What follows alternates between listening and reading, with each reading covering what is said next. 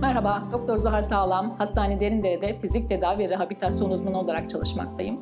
Bugün bizim tedavi yöntemlerimiz içerisinde sıklıkla başvurduğumuz eklem içi enjeksiyonlar konusundan bahsetmek istiyorum.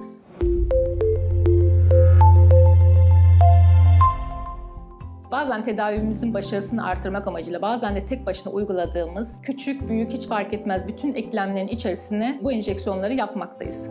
Eklem içi enjeksiyonlar tecrübeli bir hekim tarafından sterilizasyon koşullarına riayet edilerek yapıldığında oldukça yan etkisiz ve çok yüz güldürücüdür. Enjeksiyonda kullandığımız solüsyonlar çok çeşitli olabilir.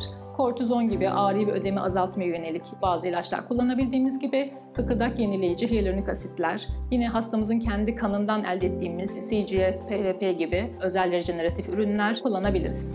Hatta ozon gazı mucizevi sonuçlar vermektedir. Bu enjeksiyonların sonrasında genellikle bir buz paketiyle istirahat öneririz. Bu birkaç günlük istirahattan sonra hasta hızlı bir şekilde işine ve günlük yaşam aktivitelerine geri döner.